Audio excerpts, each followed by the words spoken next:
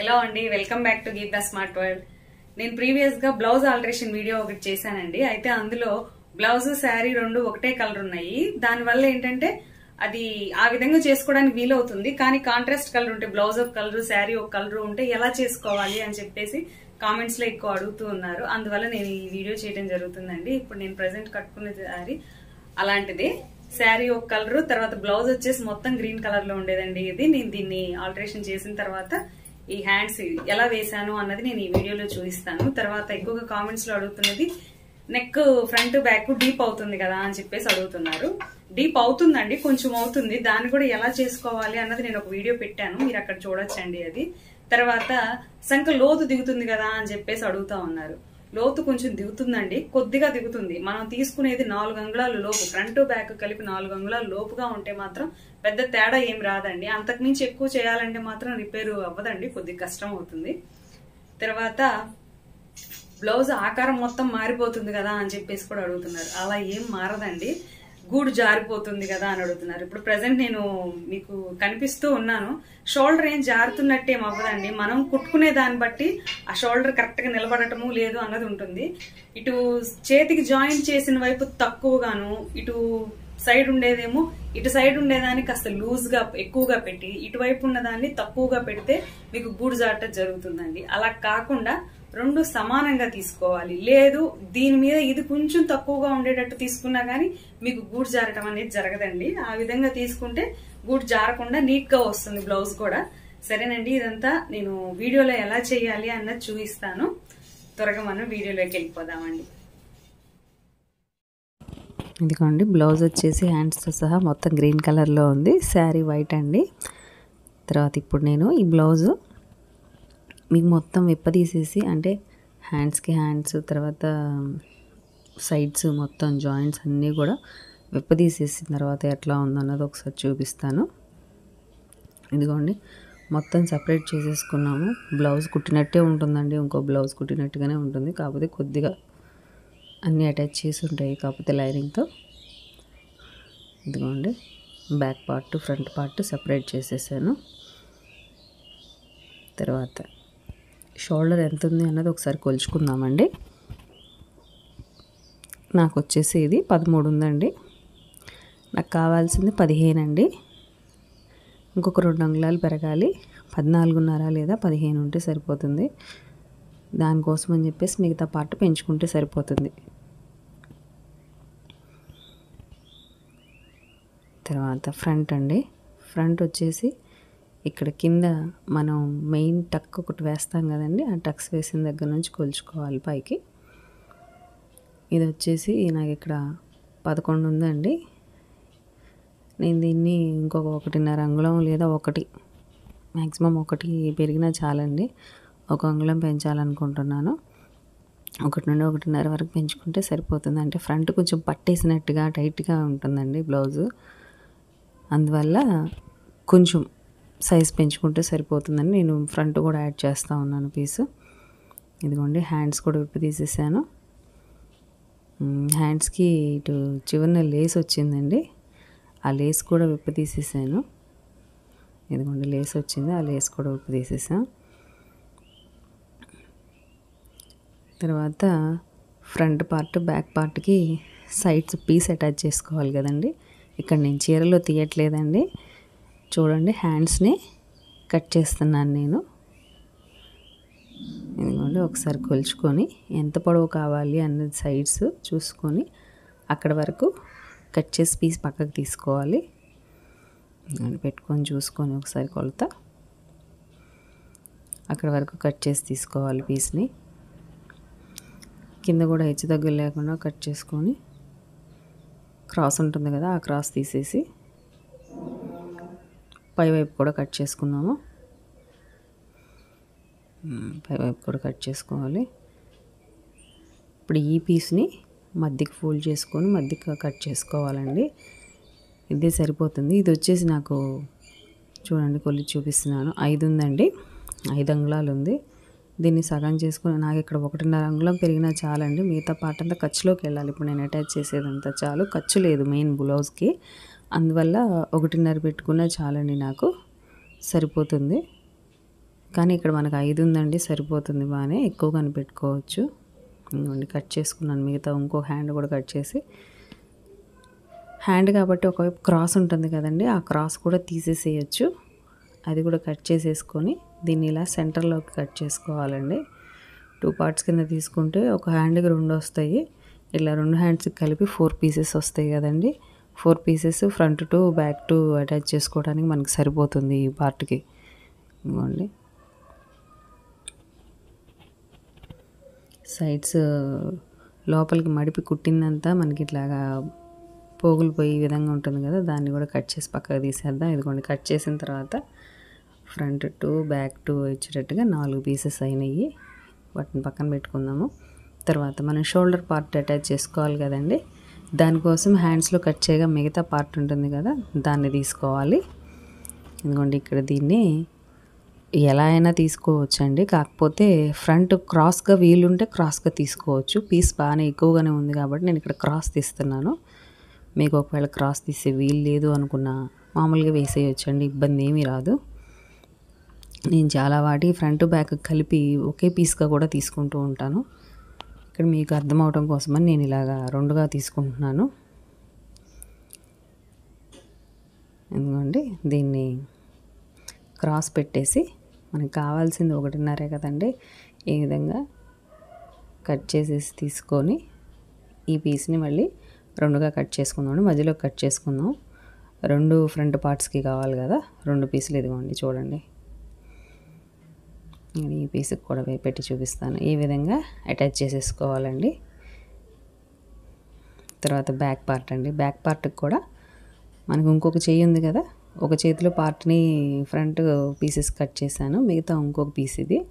ఆ పీస్ని ఈ విధంగా పైన షోల్డర్ దగ్గర అటాచ్ చేసుకోవాలి. తీసుకొని ఇది మనకి దీన్ని రెండుగా కట్ చేసి పెట్టుకుందాము ఇది కూడా సరిపోతుందండి పీసు. ఎక్కువ పట్టదండి. ఈ బ్లౌజ్ నాకు కొంచెం పొడవుగానే ఉంది. మరి తక్కువ పన్నెండు అలా ఉంటే ఎక్కువ పీస్ పట్టేది పైన. ఇదంత లేదు కదా పదమూడు పైనే ఉంది. అందువల్ల నాకు పైన పీస్ వచ్చేసి కొంచెమే పట్టింది. మెయిన్ ఇది ఏంటంటే మీకు బ్లౌజ్ కలరు శారీ కలరు వేరువేరుగా ఉంటే ఎట్లాగో అని అడుగుతున్నారని చెప్పేసి మెయిన్ వీడియో చేయటం జరుగుతుందండి ఇది. ఈ విధంగా అటాచ్ చేసుకోవాలి అది. తర్వాత ఇటు సైడ్స్కి కూడా ఇదిగోండి పీస్ యాడ్ చేసుకోవాలి. మొత్తం కలిపి కుట్టిన తర్వాత ఎలా ఉంటుందన్నది చూద్దామండి. ఇదిగోండి ఫ్రంట్ పార్ట్ వచ్చేసి సైడ్ పీస్ అటాచ్ చేశాను. తర్వాత పైన షోల్డర్ దగ్గర కూడా పీస్ అటాచ్ చేశాను. రెండో దానికి కూడా అలాగే చేశానండి. ఇదిగోండి తర్వాత బ్యాక్ పార్ట్ వచ్చేసి. మీకు ఇక్కడ పింక్ కలర్లో కనబడుతుంది మరి ఇదంతా గ్రీన్గా ఉంది అంటే అక్కడ నేను అటాచ్ చేసిన పీస్ అంతా లోపలికి వెళ్ళిపోతుందండి. ఒకవేళ ఉన్నా కొద్దిగా కనిపిస్తూ ఉంటుంది. అది పెద్దగా బెట్టగా ఏం తెలియదు. ఇదిగోండి చీర చూపిస్తున్నాను. చీరలో నాకు కింద పార్ట్ ఇలా లైన్స్ వచ్చిందండి. పైన మిగతాదంతా కూడా ఇలా వైట్ వచ్చింది. మీకు టోటల్ వైట్ వచ్చినా కానీ హ్యాండ్స్ తీసుకోవడం చక్కగా సరిపోతుందండి. అయితే ఇక్కడ ఈ కింద పార్ట్ కలర్ ఇలా లైన్స్ వచ్చిన వరకు నేను ఇలాగా బ్యాక్ పార్ట్కి సైడ్ అటాచ్ చేసుకోవడానికి వాడుకోవచ్చండి. కానీ పైన పీసే వాడాను ఎందుకంటే మీకు వేరు వేరు కలర్స్ ఉంటాయి అని చెప్పేసి అడుగుతున్నారని చెప్పేసి కావాలని నేను ఇలాగ ఇలా వేసుకున్నాను. లేదంటే కనుక ఆ కింద పార్ట్ కూడా కట్ చేస్తాం కదండి. ఆ పీస్ని నేను బ్యాక్ సైడ్కి వేసుకుంటే సరిపోయేది. కావాలని నేను ఇలా చూపించుతున్నాను మీకు. కింది పార్ట్ కూడా వైటే ఉంటే ఏం చేయాలి? అది మొత్తం టోటల్గా ఒకటే కలర్ ఉంటాయి అన్నట్లుగా చూపించాలని చెప్పేసి ఇలా వేశాను. ఎందుకంటే నాకు హ్యాండ్ వచ్చేసి ఐదు కావాలండి. ఇక్కడ నేను ఐదు అంగుళాలు పొడవుగా తీసేసుకుంటాను క్లాత్. ఒకవేళ చీర చిన్నదైతే సరిపోకపోతే ఇక్కడ మీరు ఏదన్నా వైట్ కలర్ క్లాత్ కొన్ని బ్లౌజ్ పీసెస్ కుట్టించకుండా పెట్టేస్తూ ఉంటాం కదండి. ఆ కలర్ ఏవైనా కానీ వేసేసుకోవచ్చు. క్రీమ్ కలర్ వైట్ కలర్ ఏదైనా. అది లోపల కట్చింగ్లో ఉంటుంది కాబట్టి బయటకు కనపడదండి.